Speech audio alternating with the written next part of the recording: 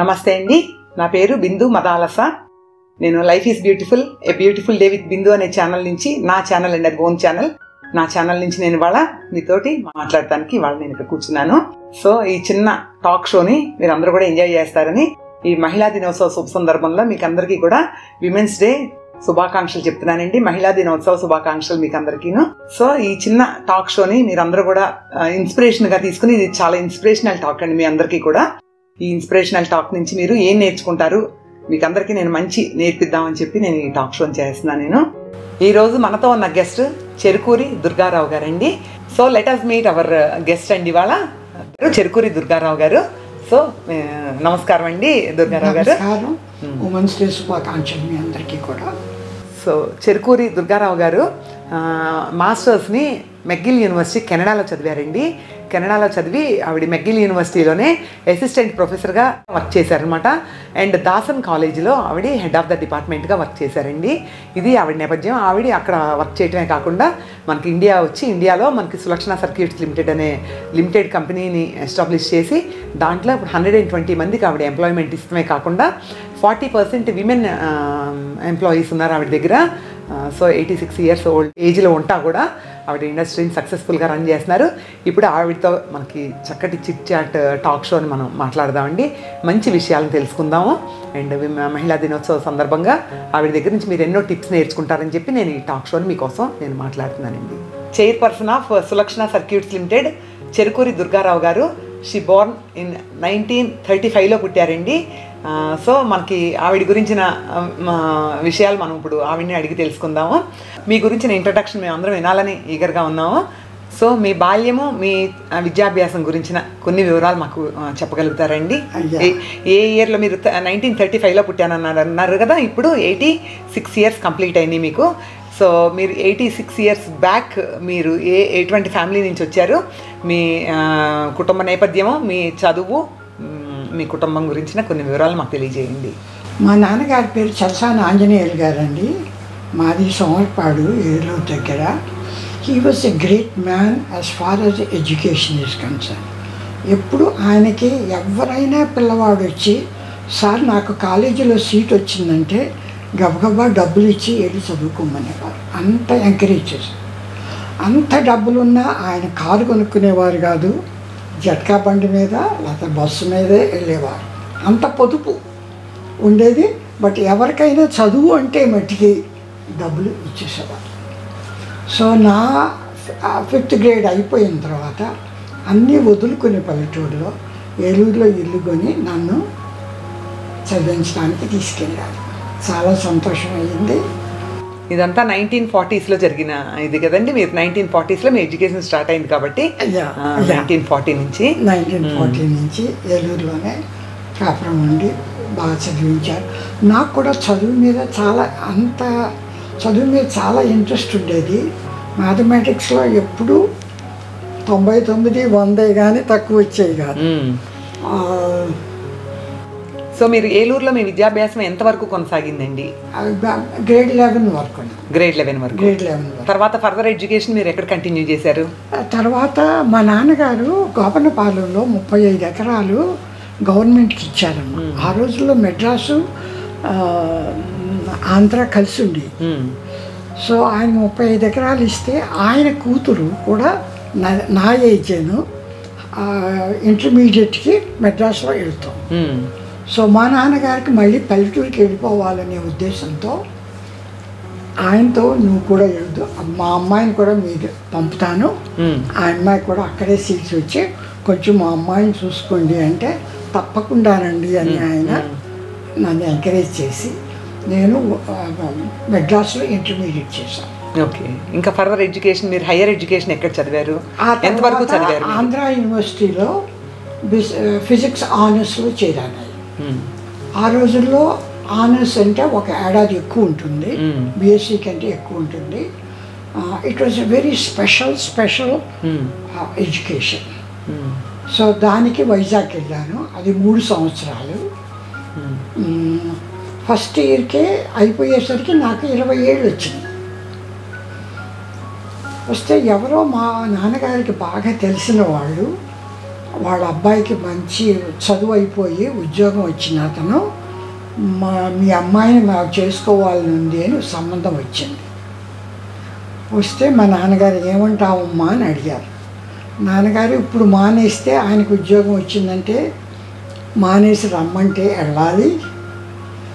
తీరా వెళ్తే చదువు లేనట్టే కదా ఎంత చదివి చదువు లేనట్టే కదా అందుకని వద్దు నాన్నగారు పెళ్ళి చేసుకోను. ఒక డిగ్రీ అన్నా రావాలి. మీరు చదివించిన విలువ తెలియాలి. అంటే అలాగే మా అమ్మాయికి పెళ్ళి చేయను అని చెప్పి పంపించేశారు. ఆ తర్వాత సంవత్సరం నేను వచ్చేసరికి మా మేనత్త ఇంట్లో వచ్చి కూర్చుంది. నువ్వు పెళ్ళి చేసుకుంటేనే నేను ఇంట్లో నుంచి కదులుతాను అని మొదలుపెట్టి అయితే అప్పుడు మా నాన్నగారు మసిలిపట్నంలో ఎవరో సంబంధం ఉంది చూసి రమ్మని వాళ్ళ ఫ్రెండ్ని పంపించారు. ఏ ఇంట్లో అయితే మా ఆయన ఫ్రెండ్ దిగారో ఆ ఇంట్లోకే మా వారు అమెరికా నుంచి అప్పుడే వచ్చి ఆ ఇంట్లో ఉన్నారు. ఈయన చూడగానే బాగున్నారు. ఎవరు? ఈయన ఎవరు? అంటే ఫలానా ఇలా పెళ్ళి చేసుకుని వెళ్దామని వచ్చారు అని చెప్పంటే అప్పుడు మా నాన్నగారిని పిలిచి చెప్తే మా నాన్నగారు నన్ను కూడా అడిగి చూడటానికి ఒప్పుకున్నారు. వచ్చి ఇద్దరం కలవటానికి ఒప్పుకున్నారు. సో మా ఇంట్లో అరేంజ్ చేశారు? మీ ఇద్దరం కలిసాము. ఇద్దరం కూడా ఓకే అన్నాము. ఆ పెళ్ళి కుదిరింది. పెళ్ళి చేసుకున్నాము. మీరు పెళ్ళయ్యే లోపల ఇక్కడ ఎంఎస్సి చదివారు కదండి? లేదమ్మా బిఎస్సీ honors ఇంకా అవలా ఇంకొక ఏడాది ఉంది. అయితే ఈయన ఒప్పుకుంటారనే. దీంతో నన్ను ఫినిష్ చేయడానికి ఒప్పుకుంటారు అనే. ధైర్యంతో. ఈ పెళ్ళికి ఒప్పుకున్నాను ఒప్పుకున్నారు. సో అవ్వకముందే ఆనర్స్ అవ్వకముందే. నా పెళ్ళి అయిపోయింది. ఆయనే కెనడా ఆయన గురించి చెప్తాను కొంచెం. ఆయన అమెరికాలో ఇంజనీరింగ్ చేశాం ఏరోనాటికల్ ఇంజనీరింగ్. చేసిన తర్వాత అక్కడ జాబ్ కూడా వచ్చింది. జాబ్ కూడా వస్తే ఆయనకి అమెరికాలో ఉండడం ఇష్టం లేదు ఆ రోజుల్లో నేను మాట్లాడేది నైన్టీన్ ఫిఫ్టీ ఫైవ్లో 1950s లో. అమెరికాలో చాలా ఈ కలర్ డిఫరెన్స్ అది చాలా చూపించేవారు నువ్వు నా కొంచెం రంగుగా ఉంటే బస్సు ఎక్కడానికి మ్మ్. నువ్వు రంగుగా ఉంటే అక్కడ ఇల్లు కొనుక్కోవడానికి వెళ్ళలేదు అలా రూల్స్ చాలా ఉండేవి ఓన్లీ నైన్టీన్ సిక్స్టీ నైన్లో అమెరికా మారింది. అందరూ బస్సు ఎక్కొచ్చు అందరూ అన్ని చోట్ల ఉండొచ్చు. అందుకని మా వారికి అమెరికాలో ఉండడం ఇష్టం లేదు. అందుకని కెనడాకి అప్లై చేస్తే కెనడాలో ఉద్యోగం వచ్చింది. అందుకని ఆయన ఇక్కడి నుంచి ఇమిగ్రేషన్కి అప్లై చేసి కెనడా ఇమిగ్రేషన్. ఇక్కడి నుంచి కెనడా వెళ్ళిపోయారన్నమాట. ఓకే. ఆ ఇమిగ్రేషన్ రావడానికి ఒక ఆరు నెలలు పట్టింది. ఆ తర్వాత నేను ఫినిష్ చేసుకుని బిఎస్సీ ఆనర్స్ నైన్టీన్ ఫిఫ్టీ సిక్స్లో నేను కెనడా వెళ్ళాను okay.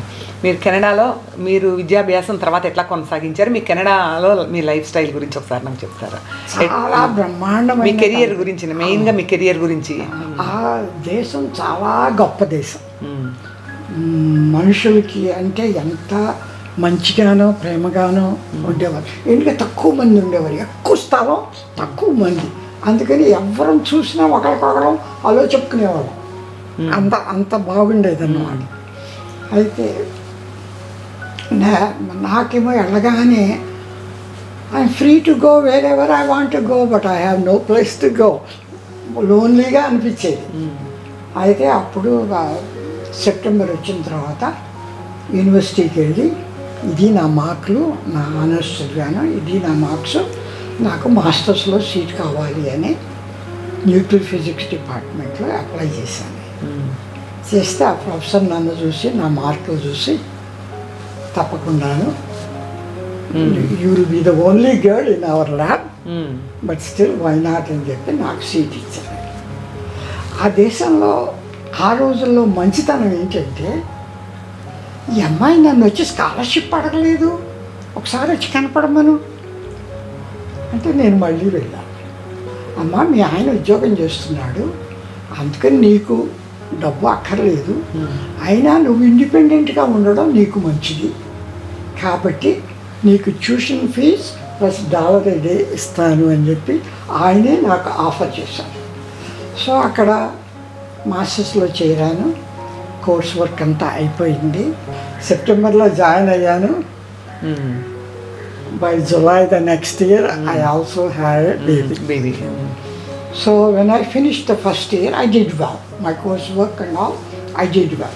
My professor called me again and said, you did well, so you can't quit now. So you go back, have the baby, mm. and then come back and join us. Mm. I'll give you tuition fees plus a dollar a day plus a babysitter. Okay A lady Very can nice. come to my house and look after the baby while I'm in the university. That was a great experience to me. Somebody is thinking about me ahead of me. So I finished my course course అయిపోయింది మీది course Masters. అయిపోయింది. Yeah. uh, next year I also started to take my PhD course because because of the radiation lab, it's a big cyclotron. It doesn't work sometimes. So I didn't finish my thesis, but I finished my course. So I started doing my PhD work. So మీరు ఆ, మీ వర్క్ని and చిల్డ్రన్ని ఎట్లా ఎంతమంది పిల్లలు మీకు ఎట్లా balance చేశారు మీ వర్క్ని అండ్ హైదరాబాద్లో నలుగురు పిల్లలు అమ్మ ఓకే అందుకని మాస్టర్స్ అయిపోయింది పిహెచ్డి వద్దని చెప్పి నేను పార్ట్ టైం జాబ్ చేస్తూ మెగిల్ యూనివర్సిటీలోనే చూసుకుంటున్నా. ఓకే. అప్పుడు మా వారికి ఎప్పుడూ కూడా ఇండియా రావాలి ఇండియాలో ఏదో చేయాలి అనే కోరిక బాగా ఉంది. అందుకని హెచ్ఐఎల్ బెంగళూరులో ఉంటే దానికి అప్లై చేశాను job is aeronautical engineer so అక్కడ జాబ్ HAL లో. హెచ్ఐఎల్. సో అక్కడ జాబ్ వచ్చింది. అందుకని నలుగురు పిల్లలతో మేము ఇండియా వచ్చేసి ఏ ఇయర్లో వచ్చారండి? సిక్స్టీ ఫోర్ అనుకో. Nineteen sixty four. ఓకే. వచ్చి ఆ, ఆయన హెచ్ఏఎల్లో పనిచేసేవారు. నేను మట్టుకు ఏమి జాబ్ చేసేదాన్ని కాదు. పిల్లల్ని చూసుకుంటా. పిల్లల్ని పెద్ద ఒక్కొక్కరిని స్కూల్లో చేర్చడం మొదలుపెట్టాను. వీళ్ళు బిషప్ కార్టన్స్ అని ఒక సిబిఎస్ఈ స్కూల్ ఉండేది. అక్కడికి వెళ్ళేవారు ముగ్గురు పిల్లలు. హెచ్ఐఎల్ బస్సే వచ్చి తీసుకెళ్ళేది వాడు. తీసుకొచ్చేది. అయితే మా ఆఖరి బాబు స్కూల్కి వచ్చినప్పుడు హాఫ్ డేనే ఉంటుంది. అది బస్సు తీసుకెళ్ళి తీసుకురాదు. అందుకు చెప్పి నేను వెళ్ళి తీసుకెళ్ళి తను దింపి మళ్ళీ వచ్చి మళ్ళీ వెళ్ళి మళ్ళీ వచ్చేదాన్ని. ఇదంతా ఎందుకని చెప్పి నేను బిషప్ కాటన్ లోపలికి వెళ్ళి కావాలంటే నేను టీచ్ చేస్తాను దిస్ ఈజ్ మై క్వాలిఫికేషన్స్ అని చెప్పి ఓ తప్పకుండాను అని చెప్పి they made me teach in the school half time while the sun is going. When I went inside, I was so surprised. There's no lab there. I said, how come Bishop Cotton CBSE curriculum? No lab. You want to set it up? You set it up. We'll give you whatever you want. Please set it up. So we're the first one in Bangalore to have the labs in the school. And I set up all the labs. And then once he finished, of course, I quit again. Then my professor from McGill University sent me a Christmas card. I wish you were here to help me out. My classes have become huge. Uh, by that time, my husband also was not happy with HAL. So I said, you want to give me a job? I want to come back. I said, sure, you choose what you want. She gave me a job. So I went with my four children. Went back to Canada? And back to Canada. Canada. My father who saw me did not understand what was happening, leaving my husband behind they wouldn't allow my husband to go right away. They have to release him from the job. Yes So I didn't want to lose another year of education delayed hmm. for my children. So I decided to go alone with the four children. Amma, I thought I was educating you. I did not realize I'm giving you wings to fly away with four children like this. So anyway, I went to McGill I started, McGill యూనివర్సిటీలో I started uh, ఫ్యాకల్టీగా start చేశారు మీ career assistant to the faculty. Assistant faculty okay Start చేశాను At that time, my husband still didn't come. Took him six months to come back to release the job here and come there. Meanwhile, they started a new college called Dawson College in Montreal. So they came and said, Why don't you apply? I don't know where my husband will be. I don't know where my husband will get the job. So why should I apply for that hmm. college? So I didn't apply. One of my colleagues applied and he got the chairmanship of the physics department. So then he came to me again. Then I saw the college. It was fantastic idea. It's a new idea, new college, and it was fantastic. So he came to me and said, Madam, you're better than me.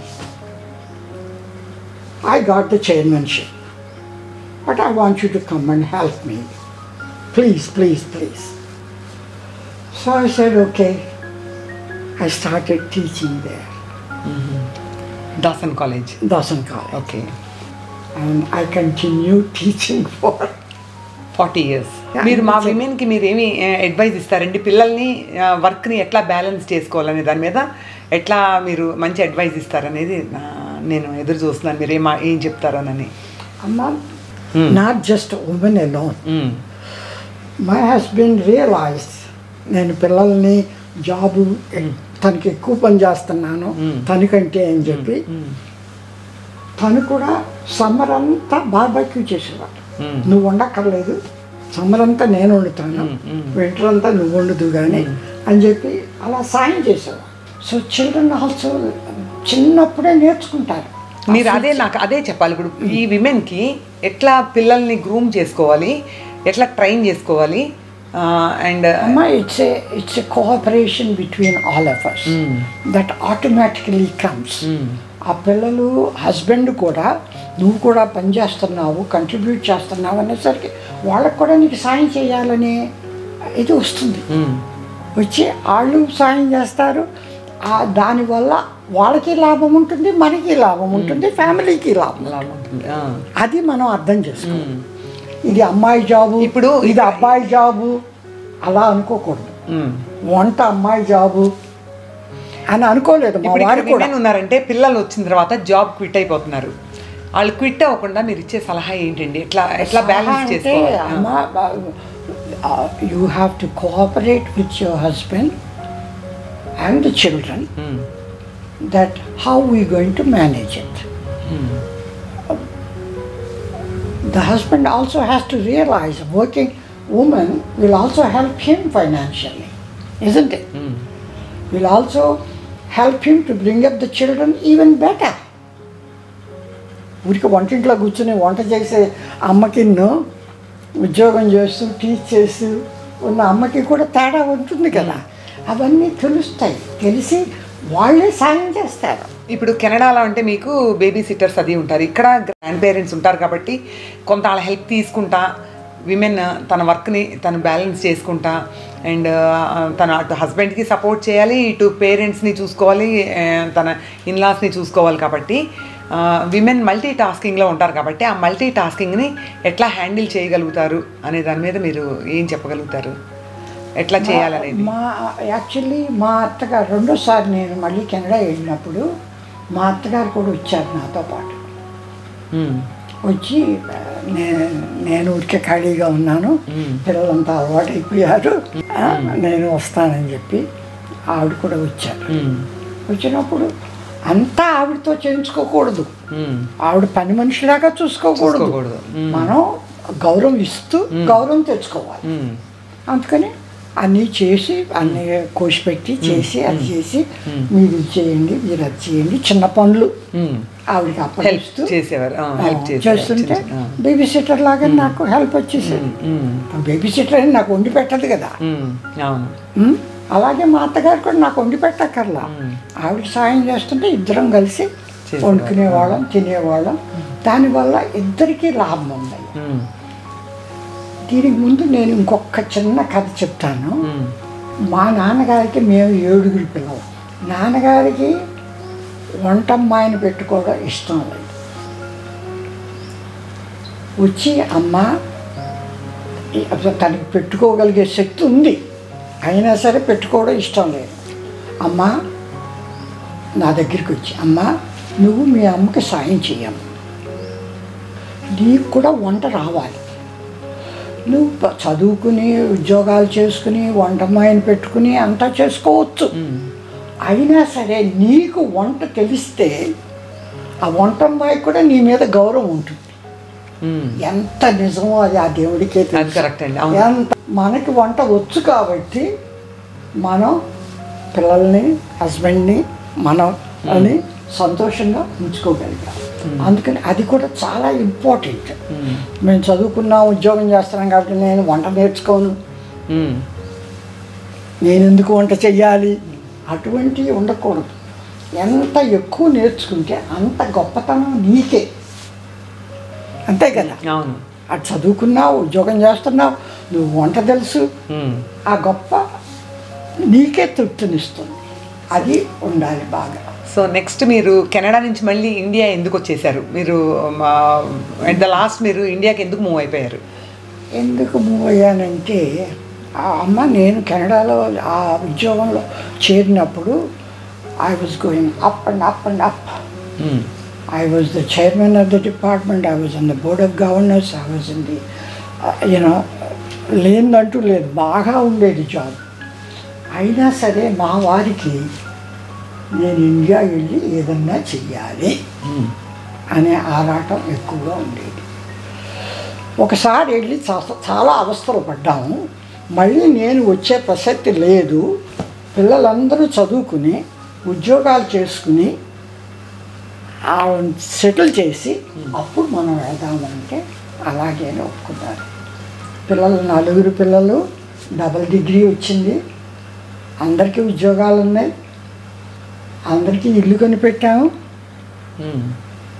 ఎవరి ఇల్లు ఇప్పుడు మేము వెళ్ళినా ఏదైనా జరిగినా ఇండియాలో నేను పిల్లల గురించి బాధపడవలసిన అవసరం లేదని అప్పుడు ఇండియా వచ్చారు. అప్పుడు ఇండియా వచ్చాము ఇండియా వచ్చి మా వారికి ఇండియాలో నేను ఏదన్నా చెయ్యాలి అనే ఆశ చాలా ఎక్కువగా ఉండేది. మ్మ్. ఆ రోజుల్లో ఎలక్ట్రానిక్ ఇండస్ట్రీ చాలా డౌన్గా ఉండేది మ్మ్. అసలు ఏమి ఉండేవి కాదు. ఈ ఫోన్లు అవి ఏమీ లేవు.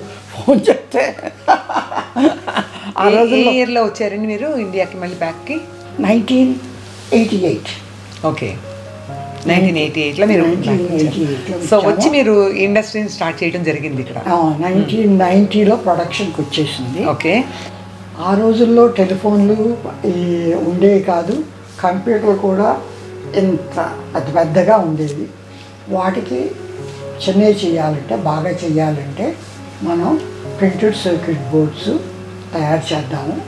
అప్పుడు అన్నిటికీ ఉపయోగపడుతుంది అని ఆయన ఆ ఉద్దేశంతో ఇక్కడికి వచ్చారు సర్క్యూట్ బోర్డ్స్ అంటే ఇప్పుడు మనకి టీవీ కానీ ఒక ఫోన్ కానీ మనం వాడాలని అంటే అందులో మదర్ బోర్డ్ అని అంటాం కదా మదర్ బోర్డ్స్ మ్యానుఫ్యాక్చరింగ్ అనమాట సులక్షణ సర్క్యూట్స్ లిమిటెడ్ అంటే మునుపు వైర్ తీసుకెళ్ళి ఇక్కడి నుంచి అక్కడికి అక్కడి ఈ స్క్రూలు ఉండేవి వైర్లు పెట్టేవారు. ఇప్పుడు అలా కాకుండా నీవు ఈ లైన్లు ఒక్కొక్క లైన్ ఒక్కొక్క వైర్ అన్నమాట. ఇప్పుడు అంత సర్క్యూట్ ఇంత బోర్డులో పడిపోతుంది. సో అది పెట్టాలని వచ్చి దానికి ఎక్విప్మెంట్ అంతా తీసుకొచ్చి మొదలుపెట్టాం. ఆ రోజుల్లో ఈ టెలిఫోన్లు అవి చేయడానికి స్విచ్చింగ్ ఎక్విప్మెంట్ మొదలుపెట్టారు. ఇండియా అంతా. ఆ స్విచ్చింగ్ ఎక్విప్మెంట్కి మమ్మల్ని మదర్ బోర్డ్ చేయమన్నారు. మదర్ బోర్డు ఎంత ఉండేది? దేశం మొత్తానికి నేనే చేశాను ఆ మదర్ బోర్డ్ మదర్ బోర్డ్స్ని ఎవరు చేయలేరు ఇక. మనం అంతా ఎక్విప్మెంట్ తెచ్చుకున్నాం. Canadian technology okay. అంతా ఉంది కాబట్టి మనం అలా అలా అలా చేసుకెళ్ళాం. మ్మ్. చేసేసాం. అప్పుడు మన ప్రెసిడెంట్ ఆఫ్ ఇండియా మా వారికి అవార్డు అవార్డు ఇచ్చారు. అప్పుడు చాలా సంతోషమైంది. మనం కనీసం ఇండియాలో ఏదన్నా చేయాలని వచ్చినందుకు కనీసం మనం చేయగలిగాము అనే తృప్తితో మ్మ్. మేము ఊరుకున్నాము. ఇది ప్రెసిడెంట్ అవార్డ్ అన్నమాట. సో మీ దగ్గర ఎంతమంది విమెన్ వర్క్ చేస్తున్నారండి? థర్టీ ఫార్టీ పర్సెంట్ ఉంటారు. Thirty forty percent okay out of hundred and twenty hundred and twenty నుంచి మీరు ఓకే ఒకప్పుడు ఇంకెక్కువ మంది ఉండేవారమ్మా. ఈ మధ్యలో ఈ కోవిడ్ మూలన దీని మూలన డౌన్ అవ్వడంతో కొంచెం వన్ ట్వంటీ ఇప్పుడు ఉంది. ఓకే ఆ, ఇప్పుడు ఎక్స్పాండ్ చేస్తున్నాము ఆ, మాకు అప్పుడు ఒక ఐదు కోట్లు ఆల్రెడీ ఎక్విప్మెంట్ ఆర్డర్ చేశాము. అది కూడా వస్తే మనుషులు రెండు వందలు రెండు వందల యాభైకి పెరుగుతారు. ఓకే. తొందరలోనే. ఒక ఏడాదిలో కొత్త ఇండస్ట్రీ ఒకటి కన్స్ట్రక్ట్ చేస్తున్నారండి ఇప్పుడు. అది కాకుండా ఇక్కడ కూడా ఎక్స్పాండ్ చేస్తాం ఎక్స్పాండ్ చేస్తున్నారు. ఓకే మేక్ ఇన్ ఇండియా అని ఇంప్లిమెంట్ చేయాలని ఇండియాలో వచ్చినప్పుడు they wanted to stop the Chinese goods coming to India అప్పుడు అది విన్న నేను శంషాబాద్ ఎయిర్పోర్ట్ దగ్గర ఆరున్నర ఎకరాలు తీసుకున్నాను అక్కడ ఇంకో కంపెనీ పెట్టబోతున్నాము. ప్రపంచంలో చేసిన బోర్డులన్నీ ఇండియాలో చేస్తామన్నమాట అప్పుడు. అది ఓకే మా గోల్ వరల్డ్ రిక్వైర్మెంట్స్ అన్ని మీ మీ దగ్గర నుంచి మీరు చేయగలుగుతారు. చేయగలుగుతాం. ఇక్కడ ఇండియాలో ఇక ఎవరు చైనా నుంచి మనం తెచ్చుకోకూడదు. అంతే. అది సక్సెస్ఫుల్ చేయగలం. అది చేస్తూ అవుతుంది సో దుర్గారావు గారు ఎయిటీ సిక్స్ ఇయర్స్ ఓల్డ్ ఉంటా. ఆవిడ లైఫ్ స్టైల్ ఎట్లా ఉంటుంది? మీ రెగ్యులర్ లైఫ్ స్టైల్ ఎట్లా ఉంటుందండి? మీరు మార్నింగ్ ఎన్ని గంటలకు మీరు ఆఫీస్కి వెళ్తారు? మీ మీ ఎక్సర్సైజ్ ప్యాటర్న్స్ ఎట్లా ఉంటాయి? ఇవాళ మనం అందరం చిన్న ఏదైనా ఇది వచ్చిందంటే కనుక ఎక్సర్సైజ్ బంక్ చేస్తాం. ఎక్సర్సైజ్ ఉండదు గుడ్ ఫుడ్ తినం మనం. సో ఆవిడ నేను రోజు మార్నింగ్ యాక్చువల్గా ఆఫీస్కి వెళ్ళే టైంకి మేమందరం పలకరించడానికి కూడా భయపడతాం అనమాట కార్ కూడా ఆవిడ దగ్గర దగ్గర హాఫ్ హాఫ్ మైల్ దూరంలో పెట్టుకుని వాక్ చేసి ఆవిడ ఎంత ఎండ అయినా సరే నైన్ నైన్ థర్టీకి బయటికి వెళ్ళి గేట్ బయటే కార్ ఎక్కుతారనమాట నాకు మధ్యలో కొంచెం ఒంట్లో బాగుండలేదు. మా మేనత్త మనవరాలు she use a yoga teacher ఆవిడ వచ్చేది నువ్వు యోగా చేయాలి అని చెప్పి నాకు నేర్పించింది. సో అది రోజు పొద్దున్నే యోగా చేస్తానయ్యా. తర్వాత రెండు ట్రిప్పులు క- కౌంటీలోనే తిరుగుతాను. మ్మ్. దాని కాలనీలో? వలన ఆరోగ్యం బాగుంటుంది. బాగుంటుంది. ఇన్నేళ్ళైనా అది చేసే దానిలో నీకు తృప్తి ఉంటే కూడా నీ ఆరోగ్యం బాగుంటుంది. బాగుంటుంది. నేను ఒకప్పుడు కంపెనీ మూసేసి వెళ్ళిపోవాలనుకున్నా. అయినా ఎందుకు వెళ్ళలేదంటే అబ్బో నూట ఇరవై మంది పనిచేస్తున్నారు వాళ్ళందరినీ రోడ్డు మీద పడేస్తే నువ్వు ఇండియాలో చేయటానికని వచ్చి దానివల్ల లాభమే ఉంది. అనే దీంతో నేను వెళ్ళకుండా డౌన్లో ఉన్నప్పుడు కూడా దాన్ని కాపాడి ఇప్పుడు పైకి తీసుకొస్తున్నాననే తృప్తి కూడా మన good ఆరోగ్య- అండి. మన ఆరోగ్యాన్ని చాలా అప్రిషియేట్ చేయాల్సిన విషయం అది మాత్రం. నో ఏజ్ బ్యారియర్ మా కంపెనీలో ఉమెన్కి మెన్కి తేడా లేదయ్యా. అందరూ ఈక్వల్గానే చూసుకుంటాము. అందరికీ జాబ్ ఈక్వల్గానే ఇస్తాము. అందరూ చక్కగా చేసుకుని చక్కగా పైకి వస్తాం.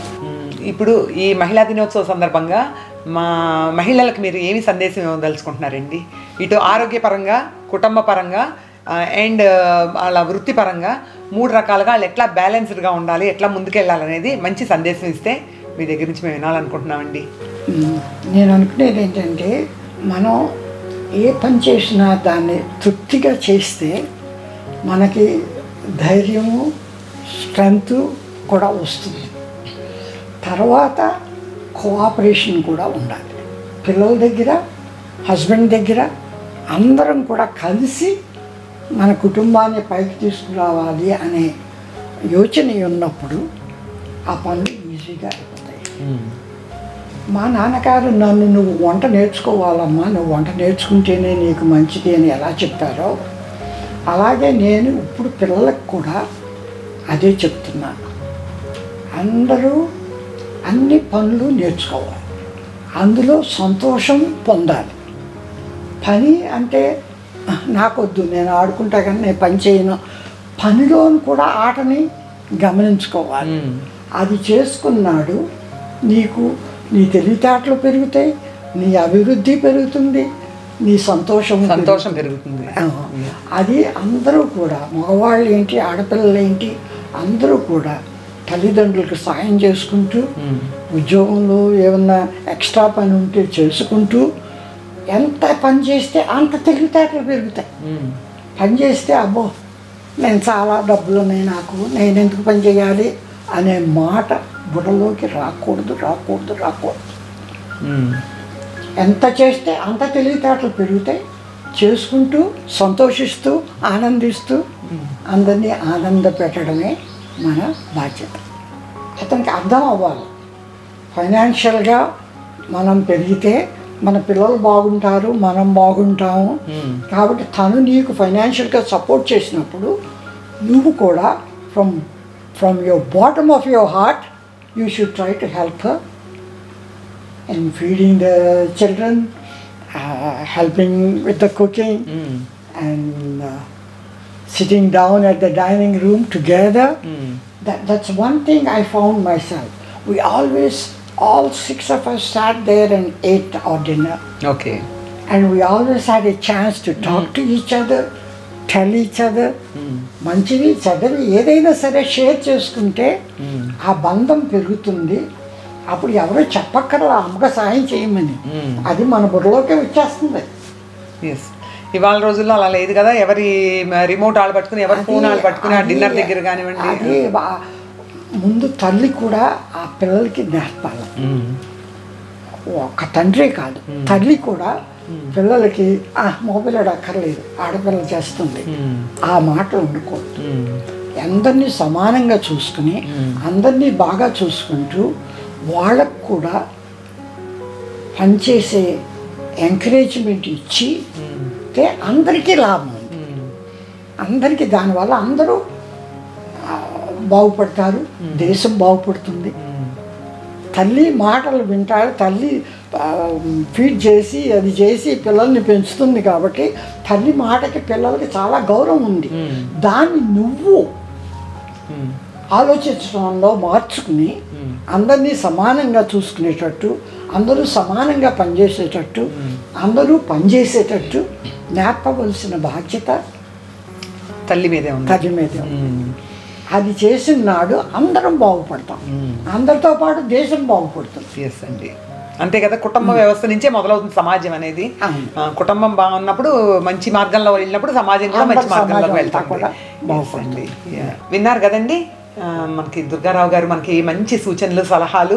కుటుంబ వ్యవస్థ ఎట్లా ఉండాలి? కుటుంబాన్ని మనం ఎట్లా ముందుకు తీసుకెళ్ళాలి? కుటుంబం ముందుకు తీసుకెళ్తే మన సమాజం ఎలా ముందుకెళ్తుంది అనేది ఆవిడ మాటల్లో చక్కగా మనకు వివరించారు. మనం పిల్లల్ని మనం ఎంత అందంగా పెంచితే మన కుటుంబం అంత అందంగా పెరుగుతుంది. పిల్లలు కూడా చక్కగా గ్రో అవుతారని చెప్పి చెప్పారు. పిల్లలు అందంగా గ్రో అయినప్పుడు మన సమాజం కూడా చాలా హెల్దీగా ఉంటుంది. సో ఇవన్నీ మనం ఆవిడ దగ్గర నుంచి నేర్చుకునే యాజ్ ఏ మన ఇంటికి పెద్దగా కానివ్వండి మన ఇండియా కంట్రీకి సీనియర్ సీనియర్ మోస్ట్ ఎంటర్ప్రెన్యూర్గా కానివ్వండి హైలీ ఎడ్యుకేటెడ్ విమెన్గా కానివ్వండి మనకి చాలా చక్కటి సందేశం ఇచ్చారు. ఇవన్నిటి నుంచి మీరు చక్కగా మీ జీవితాలని చక్కగా అందంగా మలుచు అదే కాకుండా మన ఆరోగ్యపరంగా కూడా చెప్పారు చూసారా? చక్కగా యోగా చేస్తున్నాను వాకింగ్ చేస్తున్నానని చెప్పారు. మనం హెల్దీగా ఉండటానికి కూడా మంచి టిప్స్ ఇచ్చారు. ఇవన్నీ ఫాలో అవుతా ఆరోగ్యకరమైన సమాజాన్ని నిర్మిద్దామండి. ఈ సమాజాన్ని నిర్మించాలంటే ఎవరి చేతుల్లో ఉందంటే ఒక మహిళ చేతుల్లో ఉందండి సమాజం అంతాను. పిల్లలకి చాలా మంచి విద్యా బుద్ధులను ఇస్తా మంచి బుద్ధులండి. జ్ఞానము మెయిన్గా జ్ఞానము వివేచన ఆలోచన మంచివి చెప్పేవన్నీ తల్లి చేతిలోనే ఉన్నాయండి. అట్లా మనం పిల్లల్ని మంచిగా పెంచుతాయి సమాజాన్ని కూడా పెంచడానికి మనం మంచి టిప్స్ నేర్చుకున్నాం ఇదండి ఇవాళ మన మహిళా దినోత్సవ టాక్ షో. దుర్గారావు గారితో మీరందరూ మంచి పాయింట్స్ మీరు గ్రహించారని నేను ఆశిస్తున్నాను. మరొకసారి మీ అందరికీ మహిళా దినోత్సవ శుభాకాంక్షలు. నమస్కారం అండి.